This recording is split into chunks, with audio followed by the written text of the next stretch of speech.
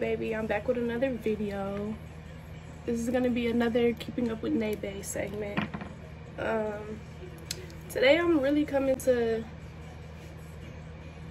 really coming to just talk about like how to not allow yourself to get stuck in a situation. Like just different things to pay attention to or things that I wish I would have paid attention to in the long run. I mean, now is the long run, but you know what I'm saying? Like in the beginning, like just different things that I wish I would have paid attention to and things that I wish I would have listened to or just followed through with. As far as my mindset and just how I feel about what's going on. Here's my book. Y'all are gonna see me looking down at my book because I have like stuff written down that I kind of just wanna like talk about the most or just, you know, pay attention to more. But I know y'all gonna see me looking down and stuff like that.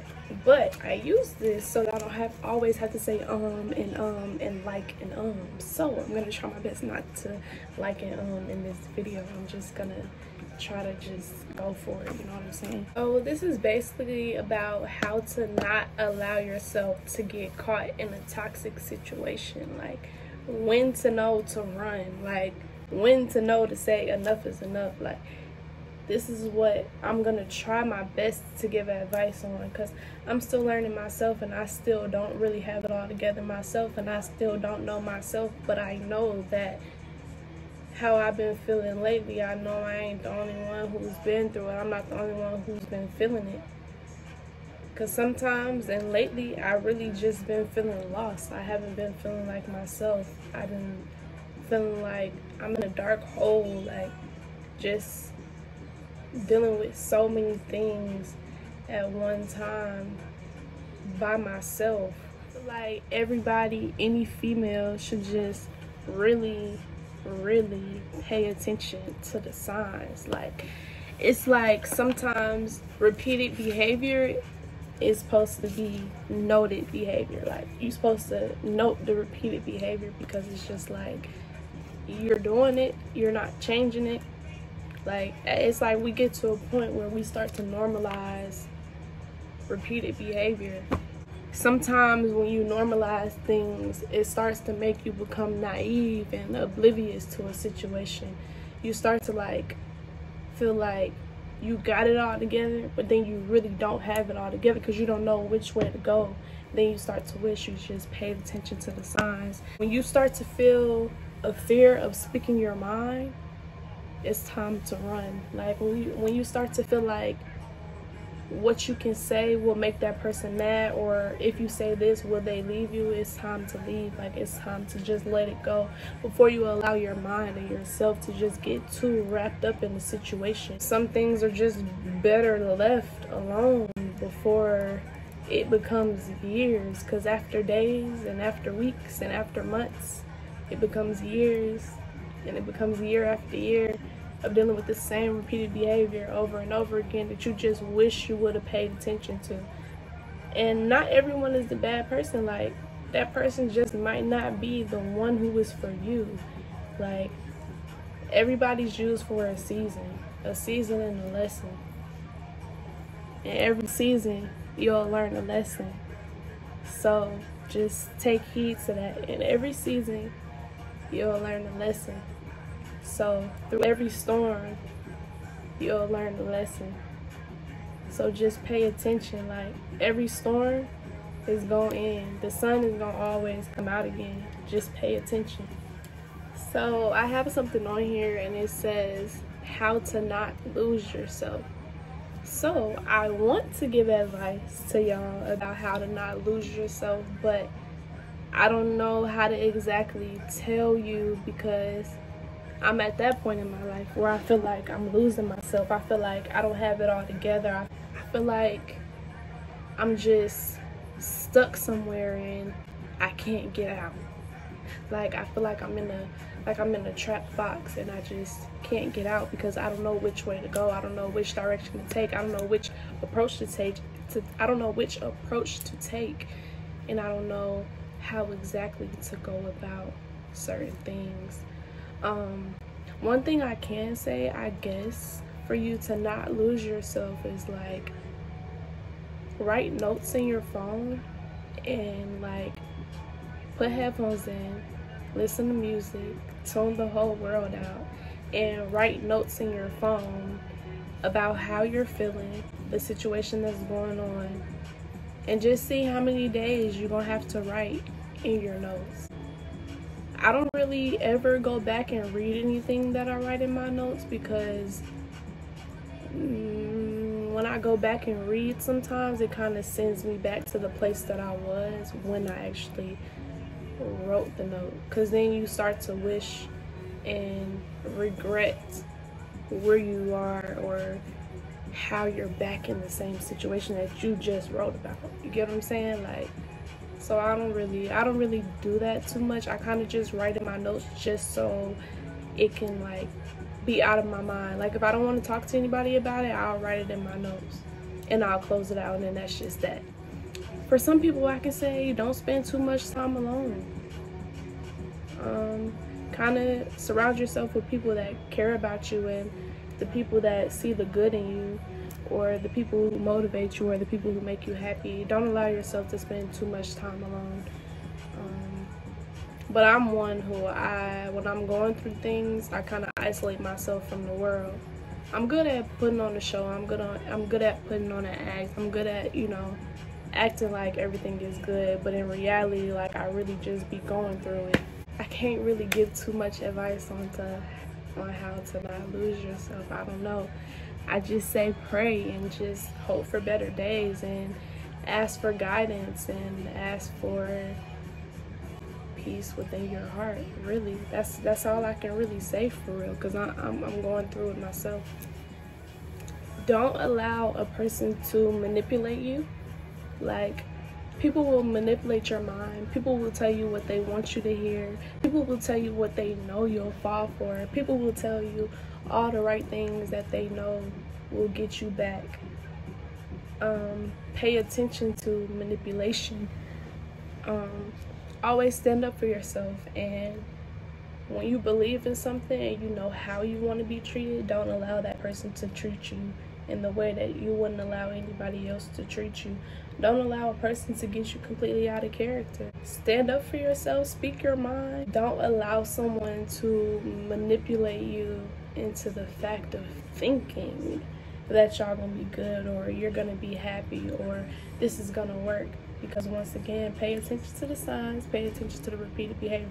Everybody's different, and sometimes people are able to change if you know what I'm saying. But a person only gonna change if they want to change. A person isn't gonna change because you want them to change.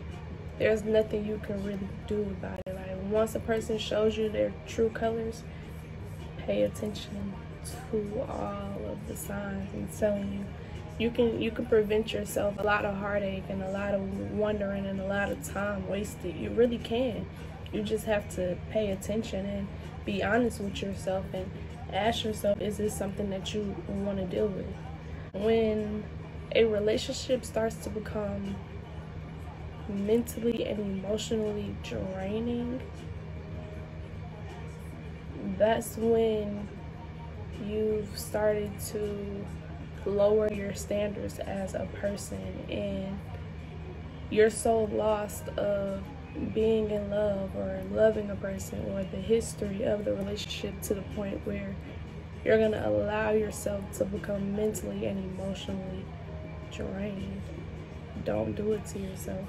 It's not worth it. A toxic relationship will make you feel like you're losing yourself in life. It'll make you feel like you're not on the right path. Like, yeah, you have it all together but you don't have it all together, if you know what I'm saying. Like, I got my own crib, my own car, pay my own bills, I make my own money. But a toxic relationship has made me feel like I'm lost. It's made me feel like I don't know who I am. It's made me feel like, is this really what I'm putting myself through? Like, am I really allowing this to be me? Like, am I allowing this situation to completely control me? No matter how much it might hurt you in a way, you're going to have to pick up and leave. Some stuff you just can't stick around and put up with anymore. And I don't think you should. I don't I don't think anyone should. But there's people out there that's like me and because you love and because you've been through a lot with the person that you haven't been through with anybody else, it feels like it's love. But it's not really love. Like you can love a person all day, but they won't love you or could never imagine or could never fathom the fact of loving you the way that you love them. Because what they think they're giving you is love, but that's not your ideal vision of love. That's not your ideal way of going about love. What is love? That's that's a real question. Like, really, what is love? What is love? Because I, I don't feel like anybody knows what love is. I feel like everybody has their own vision of love. Everybody has their own opinion of love. Everybody has their own definition of love. But that's not really love. Like, what is love? Everybody's love is different. Everybody loves different. Everybody was raised different. Everyone is just different. So you just have to pay attention. As a closing note, I just want to say sometimes you just have to accept a person for who they are. You have to accept them for the signs that they're showing you because you will spend your whole life wanting a person to be something that you're imagining and they're never going to amount up to that. They're never going to be what you want them to be. My pastor said something that was, I don't know, it kind of touched me and it was like, we only receive the love that we think we deserve. So once again, what is love? That's a real question. Like, what is love? What do you think is love? What is the love that you think you deserve, but you're not getting? So, those are things that I kind of self reflect on every day and things that I just wish, you know, you can always wish, you can always hope, but I just feel like don't go back to what made you lose yourself. And this is coming from a person who's not perfect. Like, I have my own flaws. I have my own toxic ways. Like, I'm not perfect at all. But I'm not going to allow myself to keep losing myself over and over and over again after years now at this point. It's kind of just like you gotta figure it out. I'm getting too grown for this. Life is just moving fast. Like things are different. I'd rather get myself out of something now before I'm stuck with something for the rest of my life. If you get what I'm saying, if you know what I'm saying, you know what I'm saying. Like, for real, for real. I feel like you can love a person all day, but if they don't appreciate it, then they don't deserve it. Sometimes a person will never appreciate the love that you're giving until you're gone. Always remember that and mark my words because I'm telling the truth.